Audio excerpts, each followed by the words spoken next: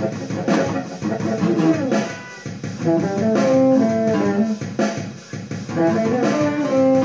you.